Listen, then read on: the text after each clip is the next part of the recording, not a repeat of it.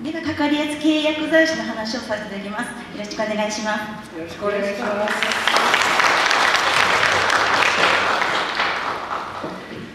ある薬剤師の先生がかかりつけ薬剤師について講演した時の話です。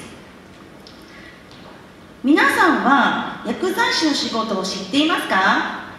病院や薬局でお薬くれる人やろ？さっさと薬をくれればいいのにすごく待たされたりするのよね。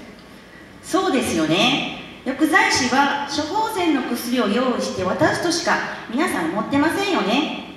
でも処方された薬を私たちはただ渡すのではなく処方された薬に関して間違いがないか安全であるかなどをいろんなことをチェックしているから時間がかかっているんです。かかりつけのお医者さんかかりつけの歯医者さんってよく言いますよね。かかりつけの薬剤師って聞いたことありますか？ああそういえば調剤薬局行った時にかかりつけ薬剤師とかなんとか書いたポスター見た気がするわ。かかりつけ薬剤師？そんなこと聞いたことないな。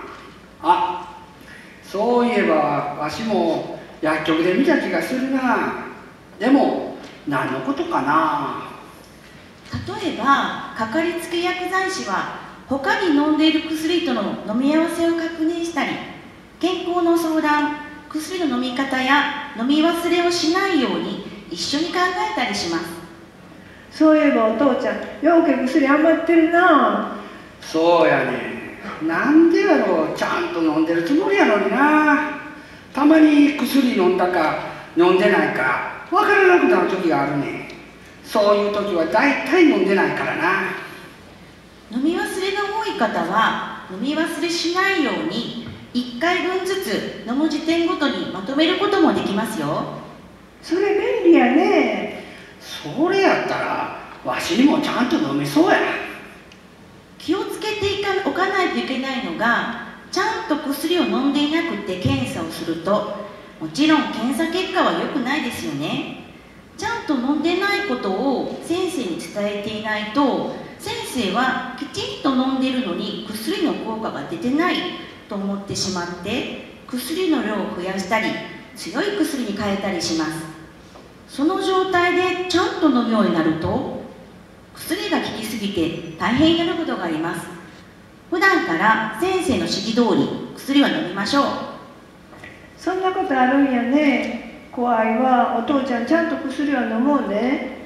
ほんまやな。これからはちゃんと飲むわ。薬飲み忘れたら先生に言うようにするわ。ところで皆さんお薬手帳ってお持ちですか？持って行って手帳に紙貼ってもらってる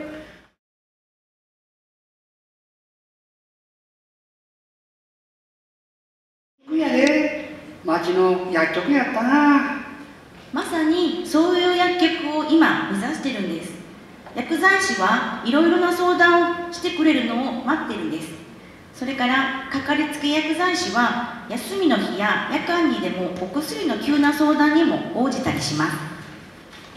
え休みやら夜でもええの？そうそう。休みの時に限って痛みが出てきてな薬飲んでもいいんか心配な時があんねお父ちゃんそんな時聞けるんやったらええな。すごい助かるな。つまりかかりつけ薬剤師というのは医療に関して何でも相談できる薬剤師でありそれには皆さんの体調や飲んでいるお薬を含めて皆さんのことを教えてもらわなくてはなりません。何でも相談してください私たちも完璧じゃないのでわからないことはあるかもしれませんがきちんと調べてお答えいたします。医療に関して何でも聞いてください。皆さん信頼できる薬剤師つまりかかりつけ薬剤師のいるかかりつけ薬局を持ちましょう。そして薬剤師をどんどん利用してください。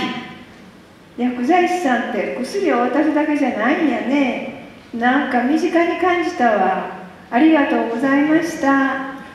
わしはかかりつけの薬剤師さんを作ってこれからは一つの薬局で薬をもらって何でも相談するようにするわ。